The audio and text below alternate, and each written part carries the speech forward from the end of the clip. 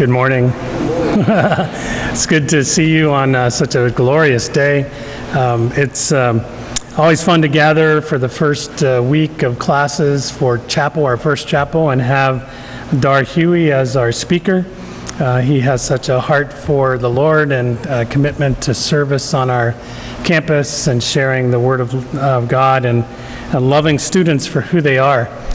Um, As I come here this morning, I, I was at a wedding rehearsal already this morning for a couple of our Westminster folks, uh, Hoke and um, Stefan Hadricki. Hadricki. Hadricki, yeah. Um, his mom said it one way and he said it another way, so I'm trying to get the right way. So I keep saying the right way. Uh, but, anyways, uh, they send greetings to you. You may remember uh, them from their journeys.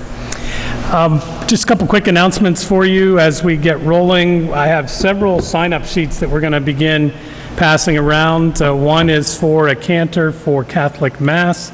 If this is something you would like to do or are wondering about, you can actually ask Dan, who's playing our music this morning. So um, uh, talk with him.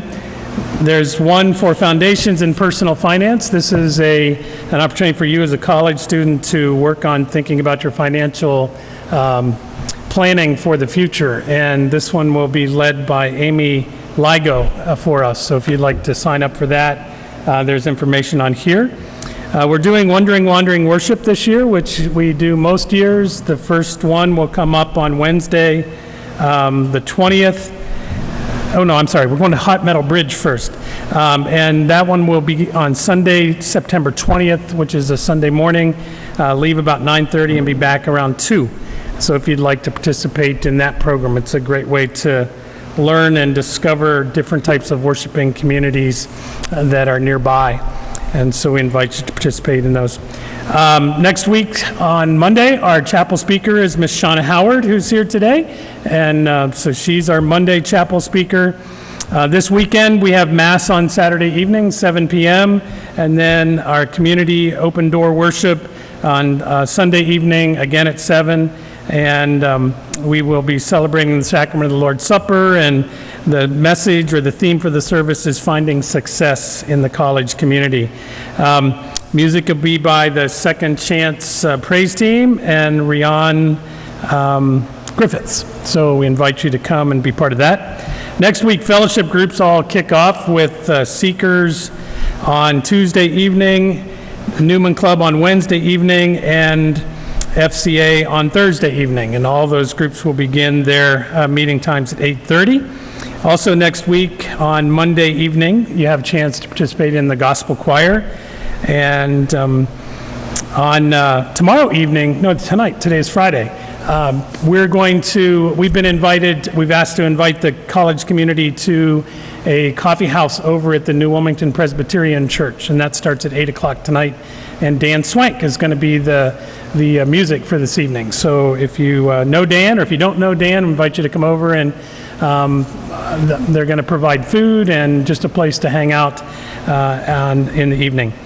And so uh, as we come, we worship, we give thanks, and uh, we're grateful to Dar again for being here and leading us in worship. So, Dar, I'll turn it over to you. So I'm going to pass these around when they get to you if you're a student.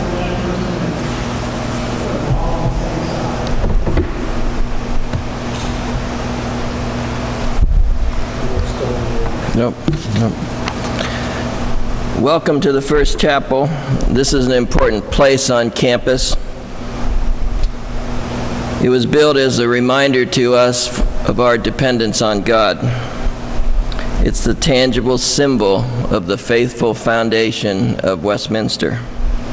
It's a place for quiet, a place for prayer, a place for worship. It's a reminder that our dependence on God is no less today than it was 163 years ago at Mother Fair's founding.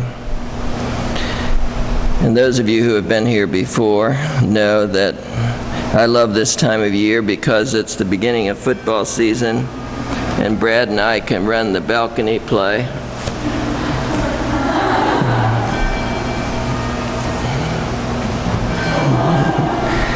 And I love this time of year because I have another birthday and perhaps someone can celebrate with me after chapel. This is my Jerry Kramer instant replay birthday. You might have to look that up. And this isn't an advertisement. I just love having birthdays. And I love this time of year because school starts again. This is my 44th start of school at Westminster. And when you, the students, return, it reminds me that the sacred mission of Westminster is focused on you. Would you pray with me? To the one who lit the sun and scattered the stars and twirled the planets and spun the earth and filled the oceans and sculpted the mountains. To the one who sent his son that we might know a new song. As parents, we stand in awe. As your children, we stand in wonder of a God so great whose amazing grace promises to shine brilliantly on the mountaintop moments of life and reach to the very bottom of our deepest, darkest valleys. In the power of Jesus' name, amen.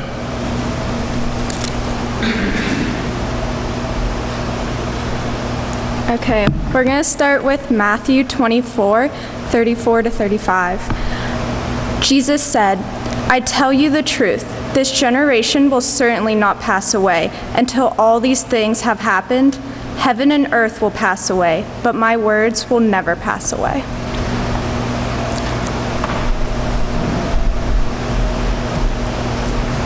The second scripture reading comes from John 8, verses 1 through 11. But Jesus went to the Mount of Olives. Early in the morning, he came again to the temple. All the people came to him, and he sat down and taught them. The scribes and the Pharisees brought a woman who had been caught in adultery, and placing her in the midst, they said to him, Teacher, this woman has been caught in the act of adultery. Now in the law, Moses commanded us to stone such. What do you say about her? This they said to test him, that they might have some charge to bring against him. Jesus bent down and wrote with his finger on the ground. And as they continued to ask him, he stood up and said to them, Let him who is without sin among you be the first to throw a stone at her. And once more he bent down and wrote with his finger on the ground. But when they heard it, they went away, one by one, beginning with the eldest. And Jesus was left alone with the woman standing before him. Jesus looked up and said to her, Woman, where are they? Has no one condemned you? She said, No one, Lord. And Jesus said, Neither do I condemn you. Go and do not sin again.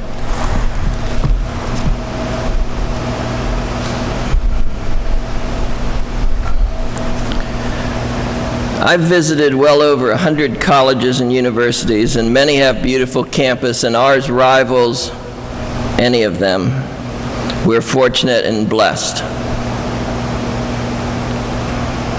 But just as the essence of a person is defined by his or her heart, Westminster's greatness will be measured by her goodness, her beauty reflected in kindness, and her distinctiveness will be found in the faithfulness of her children.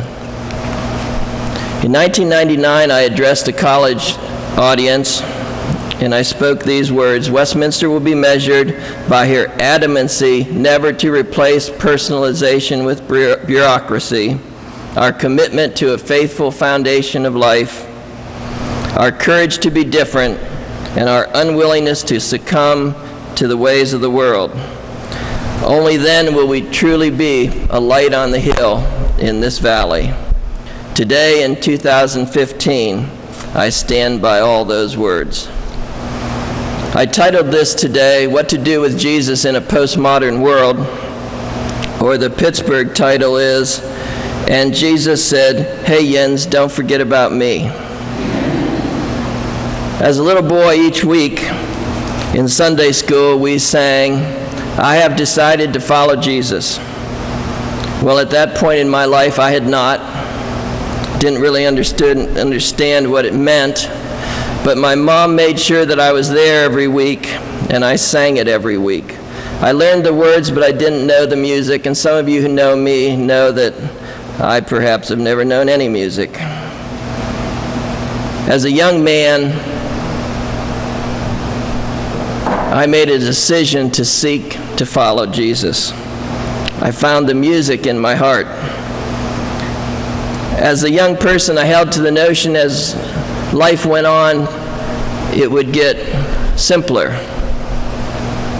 Now, as an old coot, I realize that life becomes more complex. And the recent events in our family's life have only exaggerated that point. In this postmodern age, the need to follow Jesus is great, and so too is the challenge. Many, particularly in our society, are cool with the idea of God, but ignore, or not so sure, or feel uncomfortable with the notion of Jesus. I say you take the Father and you get the Son.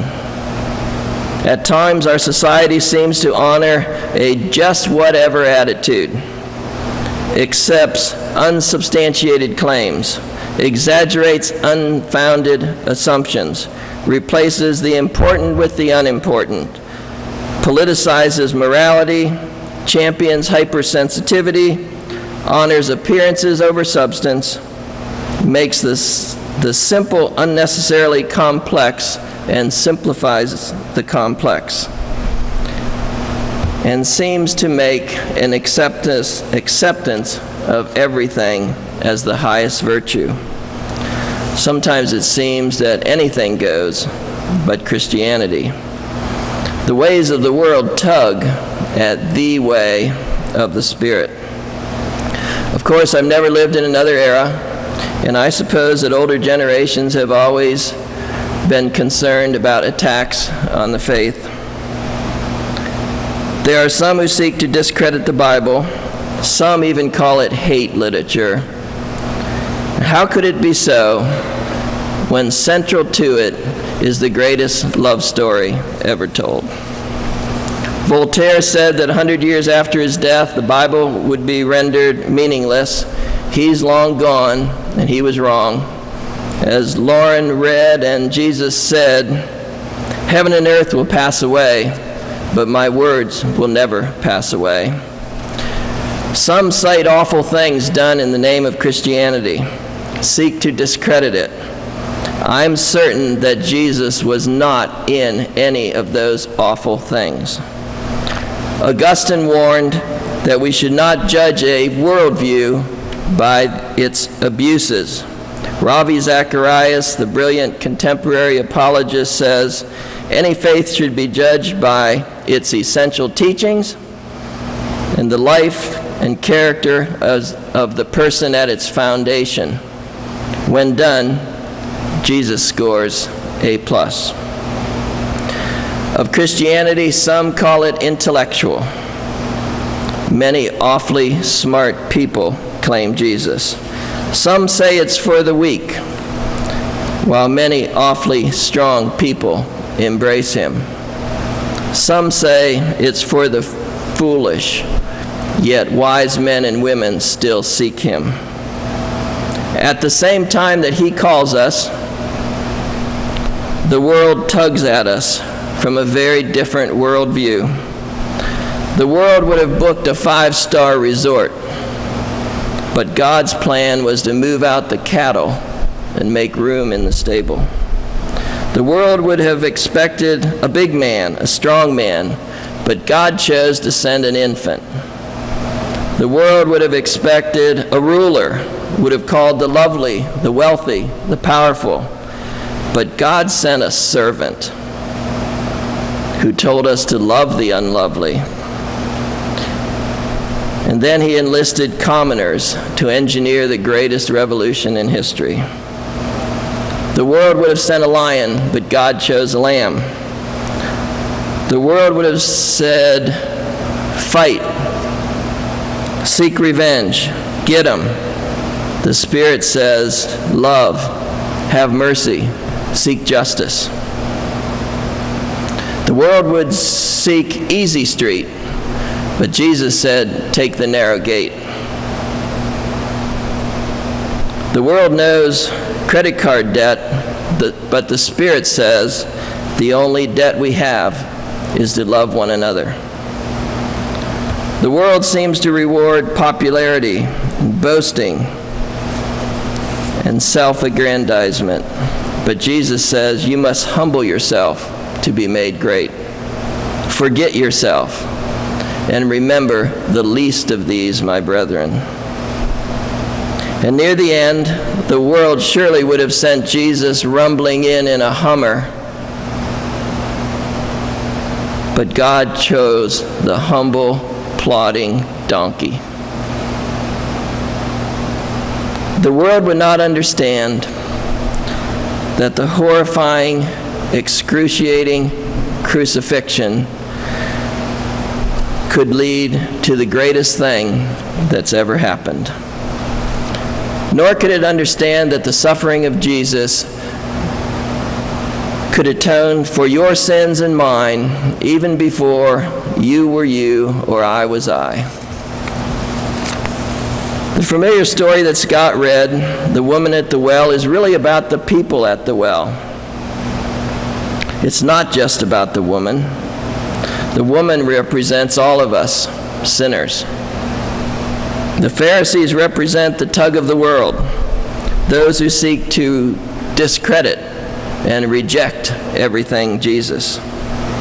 And Jesus is played by Jesus himself in the amazing role of Jesus. He took advantage of a teachable moment to show his uncommon love, to deliver firm and specific direction, and to demonstrate his amazing grace. Maybe this story should be called The Man at the Well. Just as the Pharisees had trouble getting Jesus, the world has trouble getting Christians. To decide to follow Jesus is to decide to follow the most holy, the most mysterious, and the most amazing personality. The story of his birth challenges credulity. By the world's standards, he really wasn't much. He had no groovy clothes. He was prone to dustiness. He had no prestigious titles. He really wasn't very cool. He wasn't interested in the merchandisers who sell the good life, but he promised the abundant life. The only real distinction about his appearance was his otherworldly aura. He had no, no formal education and no degrees, yet he knew everything and knows everything. And he wasn't much of a businessman either. He had nothing tangible to offer. But all that he did have, he just gave it away love and forgiveness, peace and promise, comfort and grace. And all he asks in return is the commitment of your heart.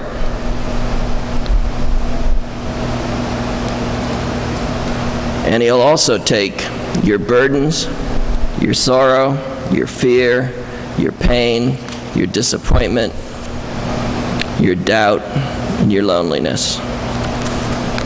This mysterious man was so gentle and approachable that children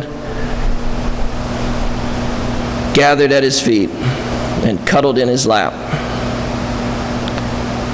He was compassionate to sinners, yet he spoke scorching, scathing words about sin. He was distinguished in his maturity, yet possessed the winsome spirit of a child. Calendars which record the yesterdays and tomorrows of our lives are dated from his birth. Now, this really shouldn't be in the past tense because part of the mystery is that he was, and he is, and he shall ever be. He left the earth like no other. He left, but he came back. You can look it up in the record book. In the end, he saved others, but not himself. His love for us is unselfish, unwarranted, and unparalleled. Like the Pharisees who were hovering at the well, who just left because they didn't get it, the world just doesn't get it. This is about God incarnate, Christ's birth, life, crucifixion, resurrection. It's about the amazing Jesus, the man at the well, his high standards of expectation, coupled with uncommon love and amazing grace.